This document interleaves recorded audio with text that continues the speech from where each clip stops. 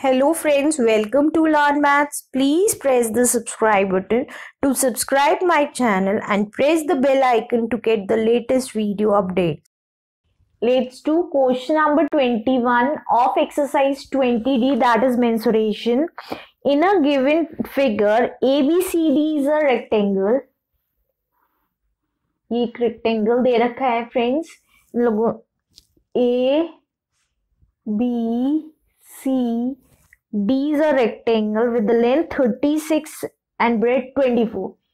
36 meter and 24 meter. In triangle ADE, in triangle ADE, ये triangle है ADE. ED is perpendicular. EF is perpendicular to AD. EF is perpendicular to AD. EF is 15 meter. ये 15 metre है. Find the area of the shaded region friends इस shaded region का area निकालना है. कैसे निकालेंगे? First we will find out the area of rectangle area of rectangle की क्या होता है? लेंथ इनटू ब्रेथ लेंथ कितनी दे रखी है? 36 और breadth 24 let's calculate 36 into 24. 4 6 are 24. 4 3 are 12, 13, 14. 2 6 are 12. 2 3 are 6 and 7. 4, 6 and 8. 864 meters square. Now calculate the area of triangle.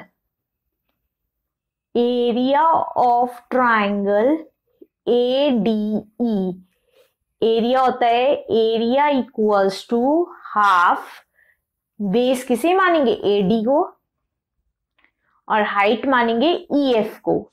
Right friends half AD opposite breadth are equal opposite size are equal 24 और ये कितनी देर की height 15 तो ये कितना है? Two twelve twenty four twelve into fifteen five two ten 5 ones are 5 and 6, 2 and 1, 0, 8 and 1.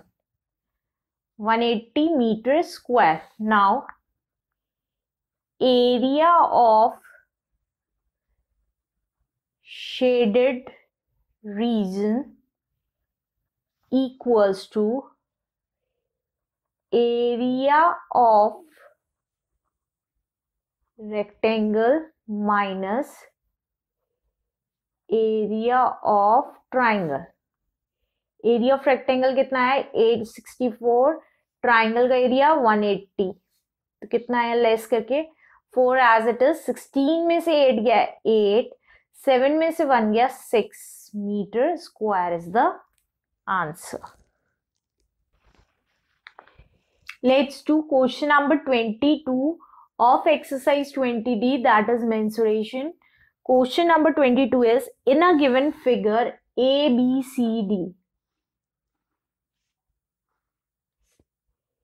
A, B, C and D.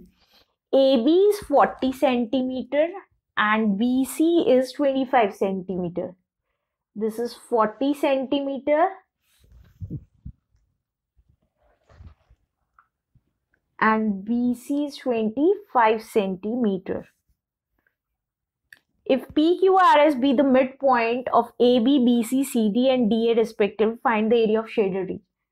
ये इसके मिड पॉइंट्स हैं ये ज्वाइन किया हुआ है फिगर में ये है पी क्यू आर एस हमें इस शेडेड पोर्शन का एरिया निकालना है friends now how we will calculate first we will calculate the area of a rectangle area of rectangle equals to length into breadth होता है लेंथ दे रखी है 40 centimetre और ब्रेथ दे रखी है 25 सेंटीमीटर तो ये कितनी हो गई zero four into twenty five is hundred that is hundred cent one thousand centimetre square now ये इसका मिड पॉइंट है तो ये कितनी हो गई? ट्वेंटी हो गई?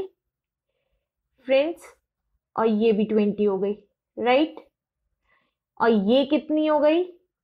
ये ट्वेंटी फाइव थी तो ये भी ट्वेंटी फाइव हुई। ट्वेल्व पॉइंट फाइव और ये भी ट्वेल्व पॉइंट फाइव हो गई। राइट right, फ्रेंड्स अगर ये पता चल गई, ये पता चल गई। और हम इसका एरिया निकाल सकते हैं एक पोर्शन का। तो एरिया ऑफ़ ट्राइंगल्स चार ट्राइंगल है वन टू थ्री फोर तो फोर से मल्टीप्लाई करेंगे। किसको? हाफ़ इनटू बेस अगर हम माने ट्वेल्व पॉइंट फाइव को। और हाइट हम माने ट्वेंटी को राइट फ्रेंड्स नाउ कितना आएगा? टू वन जो टू टू टू जो फोर टू फाइव जो टेन टू टू जो four and five two one जो टू पॉइंट लग गया into twenty twenty five into twenty is fifty five hundred आ गया. Centimetre square right friends Now, area of shaded region. Area of shaded region कैसे निकलेगा area of rectangle minus area of triangles triangles कौन कौन से ये ये this one this one उन इन चारों का एरिया है 500 तो 1000 सेंटीमीटर स्क्वायर माइनस 500 सेंटीमीटर तो कितना आ गया? 500 centimetre square is the answer thank you if you understand the step by step solution of this video please subscribe my channel on maths and share it with your friends thank you